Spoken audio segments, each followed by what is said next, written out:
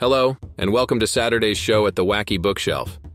For those new here, this channel is all about books you didn't know about. If you are a returning subscriber, we thank you for watching our videos and building the channel. We are a community of explorative readers, and we are always open to new book suggestions. All of our book reviews can be found in the description below, along with our merchandise and book blog. Please leave a like, comment, share, and subscribe to the channel for new content. Thank you for your support, and now on to today's book.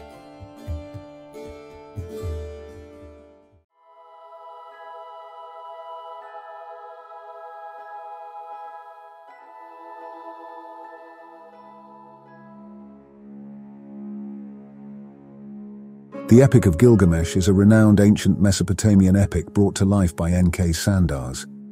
Believed to be one of the earliest surviving works of literature, this epic follows the extraordinary adventures of Gilgamesh, a legendary king of Uruk.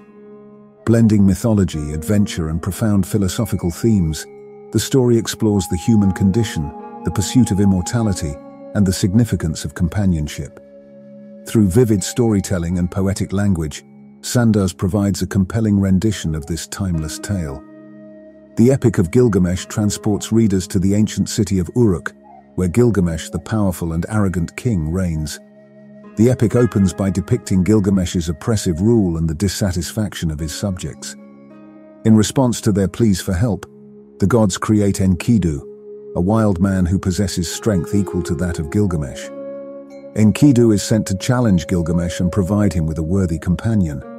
When Gilgamesh and Enkidu meet, they engage in a fierce battle but soon realize they are equals and become fast friends. This friendship forms the core of the epic, showcasing the transformative power of companionship. Together, Gilgamesh and Enkidu embark on a series of adventures, seeking glory and immortality. Their first great challenge arises when they encounter the monstrous guardian Humbaba, appointed by the gods to protect the cedar forest. Overcoming their fears, Gilgamesh and Enkidu defeat Humbaba, but their victory comes at a price. The gods, angered by their audacity, decide to punish Enkidu, who falls severely ill and eventually succumbs to death. Devastated by the loss of his beloved friend, Gilgamesh is consumed by grief and embarks on a quest to find eternal life. He seeks the counsel of Utnapishtim, the only mortal granted immortality by the gods. Utnapishtim tells Gilgamesh the story of the Great Flood, revealing that the gods have reserved immortality for themselves. Gilgamesh, undeterred, seeks the secret of eternal life from the plant of rejuvenation. He manages to retrieve the plant but loses it when a serpent snatches it away. Despite this setback, Gilgamesh returns to Uruk, having learned important lessons about the limits of human existence and the importance of leaving a lasting legacy. The Epic of Gilgamesh encapsulates various important messages. Firstly, it explores the nature of mortality and the desire for immortality that resides within humanity. Gilgamesh's relentless pursuit of eternal life reflects the universal longing for transcending our finite existence. The epic reminds us that while mortality is inevitable, the legacy we leave behind can endure through our deeds and contributions to society. Additionally, the epic underscores the power of friendship and the impact it can have on personal growth and transformation. Gilgamesh and Enkidu's deep bond teaches us the value of companionship, the strength that comes from shared experiences, and the ability to support one another through life's challenges. Furthermore, the Epic of Gilgamesh explores themes of divine intervention, the nature of gods, and the relationship between humans and the divine. The epic highlights the capriciousness of the gods and their ability to shape human destinies. It also raises philosophical questions about the role of deities in the lives of mortals and the purpose of human existence.